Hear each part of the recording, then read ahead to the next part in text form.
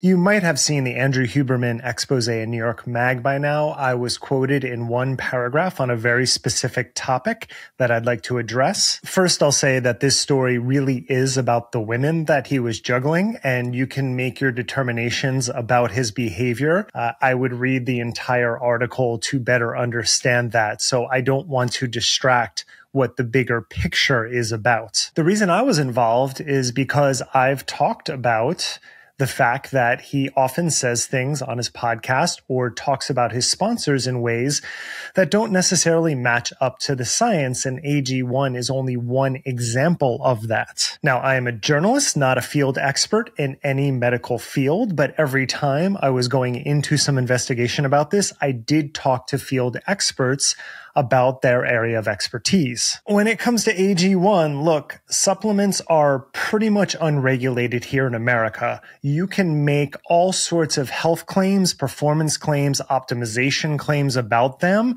and then just have a small disclaimer on your website that no one reads and you don't necessarily need the science to back it up. Now, AG1 has said we have the science to back it up. So I reached out to them with three simple questions and I will update you when and if they respond. First, AG1 is a proprietary blend, meaning they do not have to list dose levels on the supplement packaging.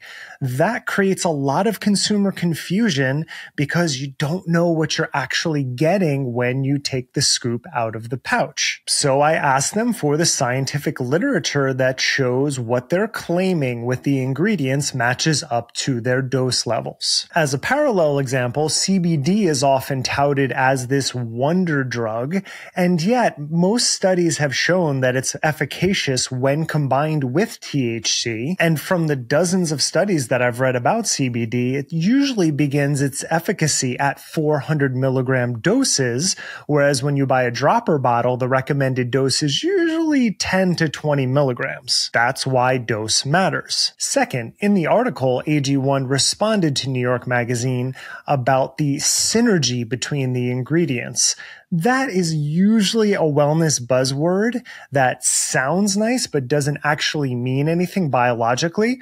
So I asked them for any literature about the synergy between their ingredients. We'll see if they provide it. Finally, and I've reported on this before, I cannot find any page on AG1's website that lists the contraindications to medical prescriptions and health conditions with their ingredients. Now, you can hate pharma all you want, and I have so many problems with for-profit healthcare here in America, but every time you get a prescription, you will get a packet of contraindications, health risks, all sorts of issues and problems and dose levels that are required by law to be included in that packet. When you go to a drugstore to buy ibuprofen or aspirin, you will find all sorts of literature, very small print on those boxes that is required to be there. Supplements?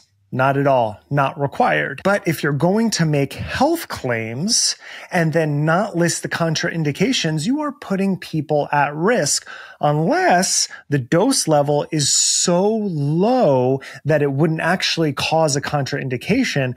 But then what is that dose level actually doing for you in the first place? So that's why I'm involved in the article. That's what I want to know from AG1. I have emailed them.